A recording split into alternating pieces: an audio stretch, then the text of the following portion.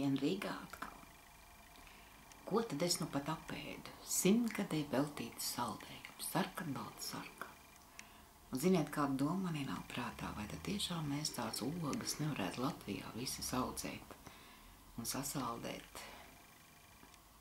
Zviedrijā audzē dar, mūsējie brauc un vāc.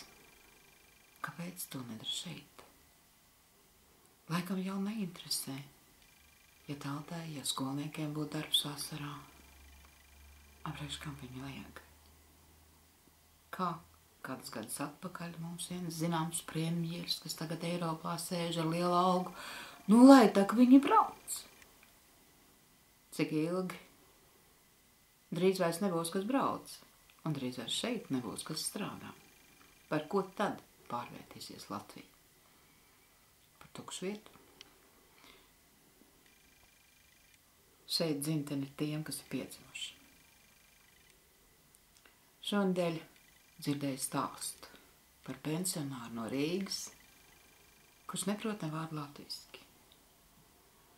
Un dēļ viņš pārdod dzīvokli Rīgā un nopērk dzīvokli mazā lauku miestiņā. Nu jā, tur tas dzīvoklis ir stipri, stipri lētāks. Un likās, kad ārprāts kāds dēls un paši viņu pārējo naudu un aizbrauc uz ārzemēm dzīvot.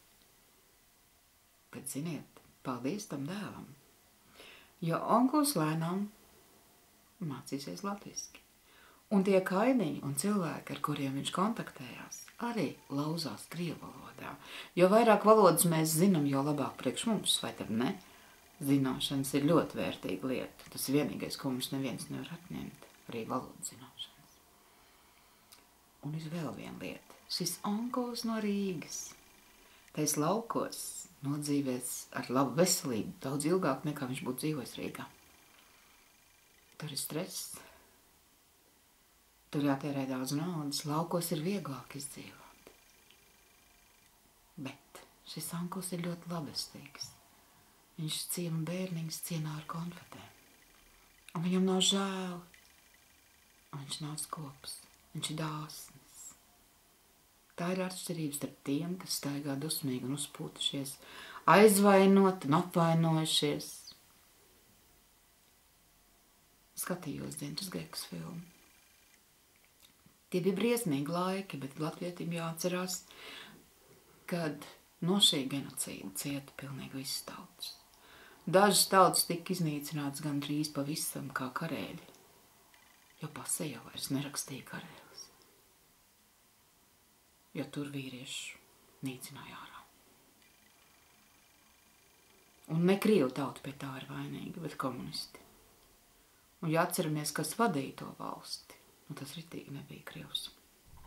Vai ne? Vēsturi vajag zināt, pagātni arī vajag zināt. Bet ir tik ilgi gadi pagājuši, un nu jau ir laiks to piedot un aizmirst. Un ne jau par tiem pārdarītājiem ir jādomā, bet par sevi un savu nākotni. Kā mēs varam tikt uz priekšu? Mēs visus šos gadus, nu kā teikt, minam pedāļus un ritenis neiet uz priekšu tikai taisni tāpēc, ka dzīvojam savā apvainojumā, aizvainojumā, dusmās, naidā. Ko tik dusmās nenovēl otram? Bet, diemžēl, tu pats to dabu atpakaļ, jo tas bumerangs jau strādā. Es piedodu visiem. Arī man ģimene tika represēta. Nu, un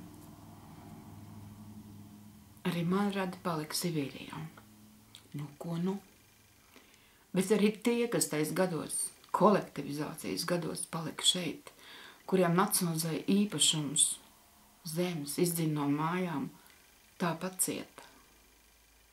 Un toreiz varbūt vinnētāji bija tie, kas emigrēja, jo viņiem bija iespēja, ja gribēja, palikt par latvieti.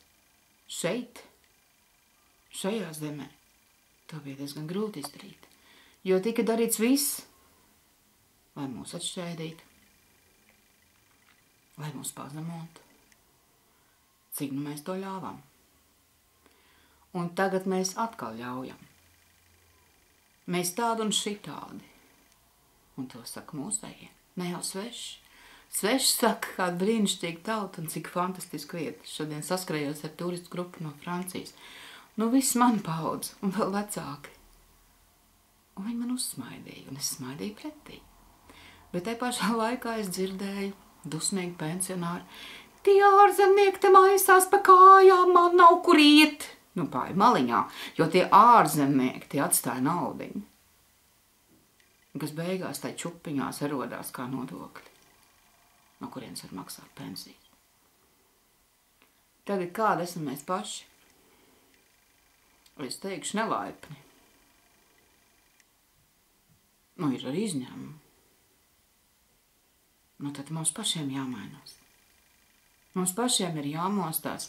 Sāksim ar paldies un lūdzu, ar to, ka palaidīsim otru. Nu, arvien vairāk jau tādi ir jaunajā paudzē, un par viņiem man ir prieks. Bet nu, tā manējā arī nemaz tik briesmīgi sliktā paudze nav. Mēs tikai esam paraduši izcelt to slikto.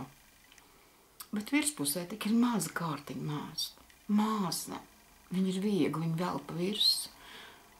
Bet tie dziļumi, tie esam mēs. Nāciet laukā no tiem dziļumiem. Es zinu, ka jūs varat. Es jūs ļoti mīlu, un es zinu, ka jūs mīlat saucienu.